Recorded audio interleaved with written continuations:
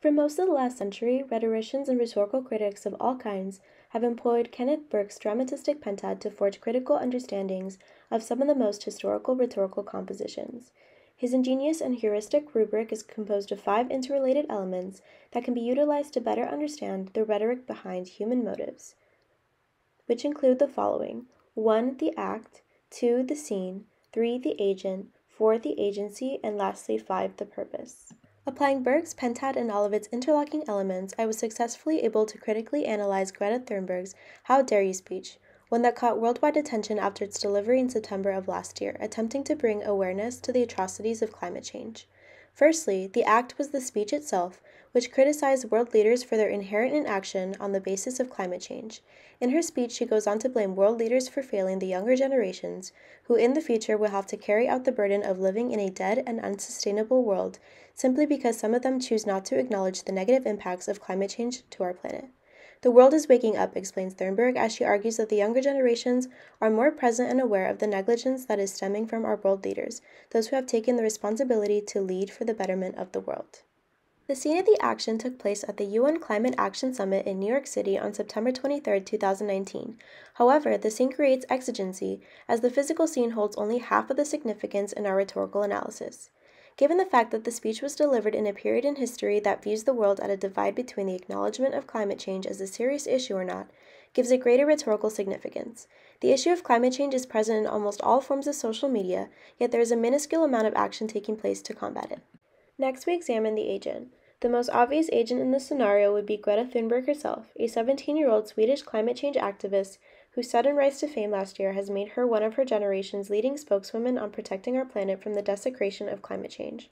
Although it is evident that she's the primary agent, one can also argue that her supporters and the youth who have become enlightened by her movement also constitute as agents to the action being performed. Although not present at the time of her speech, the agents that make up her supporters are often referred back to in her speech. The element of agency is next in line to be examined. Thunberg's speech left the audience experiencing waves of emotion such as sadness, anger, frustration, and worry. She brilliantly uses pathos in her delivery to convey a specific message that would most definitely evoke a certain emotional response. She also repeatedly uses the phrase, How dare you, at the end of almost all paragraphs, given the effect that she was blaming each of us individually instead of the world leaders that she was previously addressing. She shifted her attention from the negligent world leaders to us putting the blame on the individual. Lastly, she effectively used tons of staggering scientific facts and numbers to draw attention to the urgentness of this issue. The purpose was over, as it was a clear climate strike that demanded action to help combat climate change.